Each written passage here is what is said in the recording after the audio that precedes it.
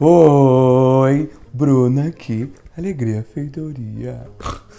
Sabe que eu sou uma pessoa assim, enquanto humana nutrida de conhecimento, que eu não sou uma pessoa que sai assim falando dos outros. Não, não, não. É que dentro da firma sempre tem aquelas pessoas com síndrome de usurpadora. Aquelas pessoas que são funcionários, mas dizem, porque nós, nós estamos crescendo muito.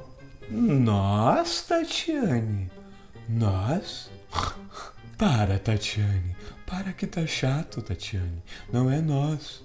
É a empresa. Tu não é dona, Tatiane. Para de ser chata. Trabalha no RH. Alegria Feitoria.